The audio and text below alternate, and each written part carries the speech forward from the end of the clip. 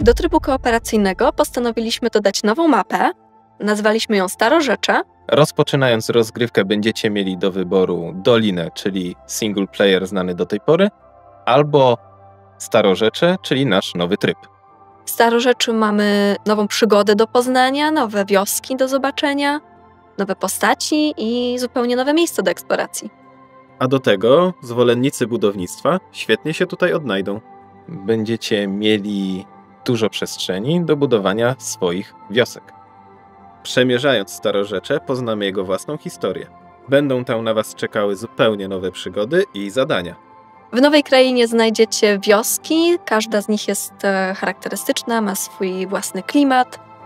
Postaraliśmy się, żeby tętniły życiem. Mieszkańcy będą zajmować się codziennymi czynnościami, takimi jak ubijanie masła, pranie lub rąbanie drewna. Piastowia jest najważniejszym miastem Starorzecza. Jest to pierwsza wioska, którą poznacie grając w naszym nowym trybie.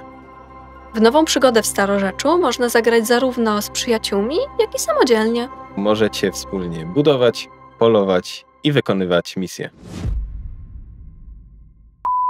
Będziecie mieli dużo przestrzeni do budowania swoich wiosek. Nowych wiosek. Najlepszych wiosek. Po prostu wiosek.